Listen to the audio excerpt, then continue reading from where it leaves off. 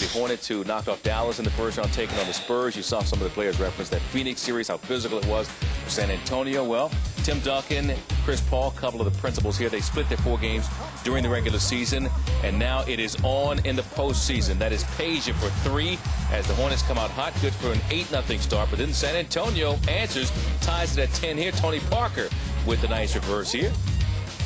It certainly was. It went to the other side of the rim. Bruce Bowen waits, then fires to Manu Ginobili for a three. Spurs led by four after one after trailing 8-0 in this game, so they got it together. After the Hornets mascot jumped through a flaming hoop as part of a performance for the crowd, they have to extinguish and clean up a mess there that delayed the game for 19 minutes. Let's see who would heat up after that.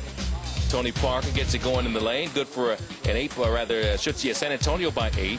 Now it's Chris Paul lobbing up top to Tyson Chandler, who had a solid game. They capped a 14-3 Hornets run as they regained the lead. But the Spurs punch back as they are known to do. Bruce Bowen rising 17 points for Bowen. More of an offensive player in this game than you would expect for San Antonio. And that score was uh, right there. They had eight, but all of a sudden, here comes the Hornets back. And that sting from the Hornets, tell you what, it'll make you feel, it'll make you hurt. Paul West and company trailed by four at the half, and we talked about who would be on fire. It was uh, it was the Hornets in the second half. Peja Stojakovic and company knocking down shot after shot. That was part of a 13-0 New Orleans Hornets run. You saw a moment ago. That is West with a nice arcing shot there. Hornets by a score of 74-66 after three, and they continue to control in the fourth quarter. They finished strongly against a team that has been there many times before.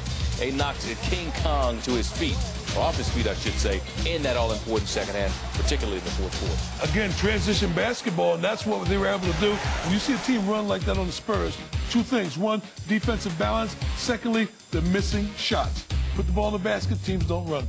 We saw uh, Paul and West talk about Chandler. We actually, actually, I didn't bring him up to you, Fred, and I should have, but Tyson Chandler, uh, as they pointed out, doing a fine defensive job against Tim Duncan. He had 10 points, 15 rebounds. You look at this, you talk about role players. Look at these guys. You have West, you understand his role. Stojakovic, ditto, great outside threat. Chris Paul does everything. Tyson Chandler, a guy who can bang the boards and produce for you, throwing 10 points from Wells as well. That is a solid role-playing team, and it came, uh, it really showed itself tonight in a, in a big spot where they get a 19-point win.